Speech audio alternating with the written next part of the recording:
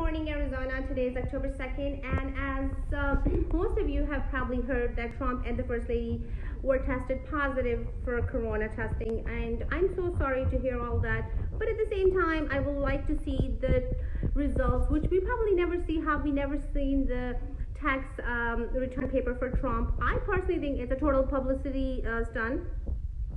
Uh, he's gonna go uh, um, quarantining for two weeks, and uh, now since the whole election thing is happening, conveniently this happened, and um, I mean, I don't wish upon on bad for anyone.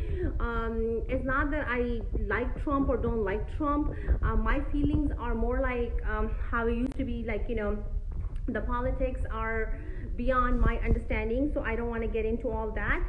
But I mean, come on, people. So again, um, wish you all the best, Trump, and hope you and First Lady recover soon. And at the same time, um, let's see those results, people. Okay, so I'm going to add my two cents here. Uh, Mr. Trump, Mr. President, and the First Lady wish you a speedy recovery, a healthy life, and I hope that Clorox bleach help you both recover and cure from whatever it is that you got. Well, 2020 isn't that bad after all.